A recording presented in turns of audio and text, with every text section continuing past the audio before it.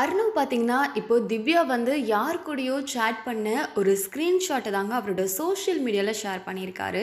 நம்ம எல்லாருக்கும் நல்லா தெரியும். திவ்யா அண்ட் அர்ணவுக்குள்ள என்ன மாதிரியான பிரச்சனைகள் போயிட்டுருக்கு. அவங்க ரெண்டு பேரும் பிரிஞ்சு இருக்கிறாங்க அப்படிங்கிறது எல்லாம் நமக்கு தெரியும். ஸோ இப்படி இருக்க நேரத்தில் கொஞ்ச நாள் வந்து இவங்க ரெண்டு பேருமே அமைதியாக இருந்தாங்க. ஒருத்தர் ஒருத்தர் மாற்றி எதுவுமே சொல்லாமல் இருந்தாங்க.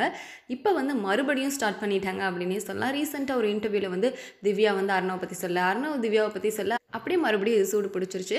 ஸோ அந்த வகையில் அருணவ் வந்து இப்போ என்ன போட்டிருக்காருன்னா, திவ்யா வந்து ஃபேஸ்புக்கில் யார் கூடயோ சேட் பண்ணியிருக்காங்க. அதாவது வந்து என்ன சொல்லியிருக்காங்க அப்படின்னு சொல்லி பார்த்தீங்கன்னா, "ஹாய் நான் உங்களோட ஃபேன் சிங்கப்பூர்லேருந்து பேசுகிறேன் நான் அவங்கள மீட் பண்ணும் அப்படின்னா, இன்ட்ரெஸ்ட் இல்லை அப்படின்ட்டு இருக்காங்க. அதுக்கடுத்து நான் ஃபைவ் கே டாலர் தரேன் அவங்கள மீட் பண்ணணும் அப்படின்னதும், அவங்களும் ஓகே கண்டிப்பாக மீட் பண்ணலாம் அப்படின்ட்டு இருக்காங்க.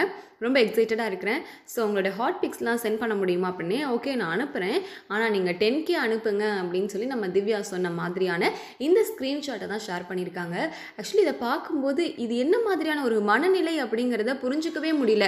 ஒருத்தர் கூட பேசுகிறத ஒரு பர்சனலான ஒரு விஷயம், அது அவங்க தப்போ சரியோ, அதை வந்து இப்படி பப்ளிக்காக போட்டு அவங்களோட பேரை கெடுக்கணும் அப்படிங்கிறதுல என்ன மாதிரி வந்து ஒரு மனநிலை இருக்க போகுது அப்படிங்கிறது நிஜமாலுமே தெரியல.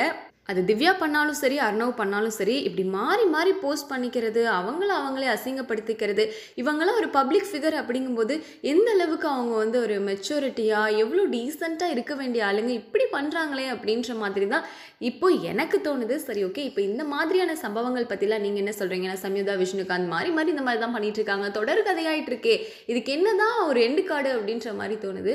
இந்த சம்பவத்தை பற்றி நீங்கள் என்ன நினைக்கிறீங்க அப்படின்னு உங்களோட கருத்தை ஷேர் பண்ணுங்கள்